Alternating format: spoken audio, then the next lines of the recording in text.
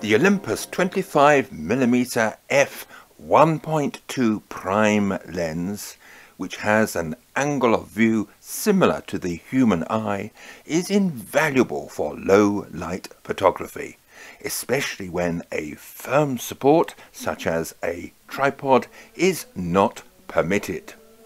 For many years, the renowned chapel at King's College, Cambridge, did not allow photography.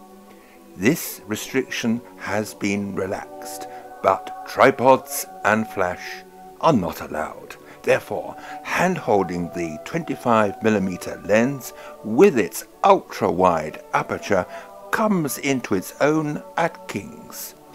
It is heavier than most kit lenses and perhaps better suited on OMD cameras than pen. But don't overlook the simple fact that a heavier camera and lens allows easier hand holding in any situation. King's College Chapel is one of the splendours of Cambridge and its architectural gem is the amazing fan-vaulted ceiling stretching 289 feet across the entire length of the chapel. It was completed between 1512 and 1515, and the 26 sets of stained glass windows were completed about 30 years later. It is undoubtedly a building of breathtaking proportions. Photography inside the chapel is challenging, and you are well advised to choose a quiet period. I went in early September, after the school holidays, but before term time at the college.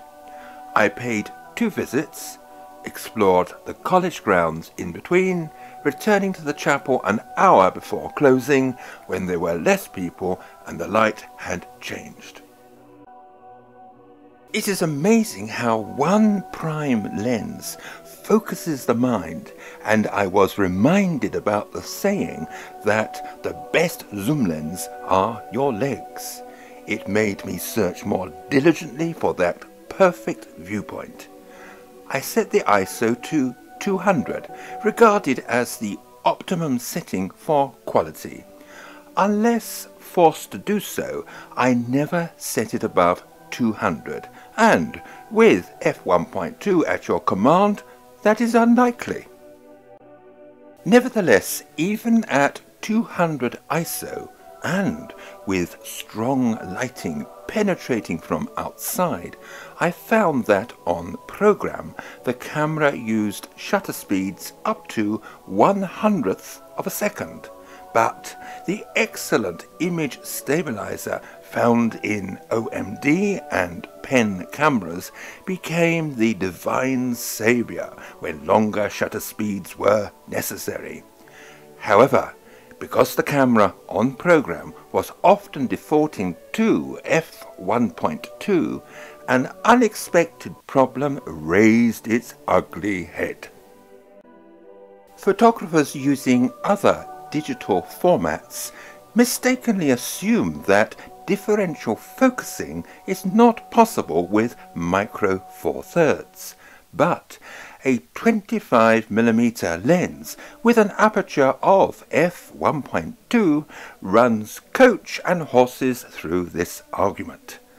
I would also add that the well-informed photographer knows how to achieve differential focusing with most standard and telephoto micro four thirds lenses, but a lens having a maximum aperture of f1.2 is in a different league. At first I was fooled when close to the subject triggering differential focusing when not required. I experienced similar problems with foregrounds. Maintaining sharpness over the entire picture area with my kit lens, the 12 to 50, was not a problem, even at its widest aperture of f3.5, but depth of field was reduced considerably at f1.2 with this prime lens having a focal length of 25mm. Never mind, this is where traditional photography succeeds and point and shoot on auto does not. Nevertheless, some photographers may accuse me of laziness by shooting on program, but by switching to aperture priority and selecting a slightly smaller aperture to increase depth of field that can still be handheld, that was the real photographic answer. I adjust my raw images in Adobe Lightroom. Not everything can be done in camera, but raw files worked in Lightroom has that picture-perfect polish. However, in addition to working at 200 ISO, I set the exposure compensation to minus 0.3 EV, sometimes minus 0.7, to contain highlights. Set white balance to cloudy, and spot meter with the help of the EVF finder. Much of this can be altered in Lightroom, but I never set anything in camera that cannot be undone later. For me, the final image is never conclusive, and if I ever achieved perfection, then photography would be boring. I stress that all images in this production are handheld with the Olympus OMD EM1 Mark II camera plus the 25mm f1.2 lens. No tripod, flash or filters or indeed anything else. There has been some adjustment in Adobe Lightroom and my photographs are taken with that work in mind through experience. I hope, nevertheless, that the superior quality of this lens speaks for itself through my images with vibrant colors and spectacular detail.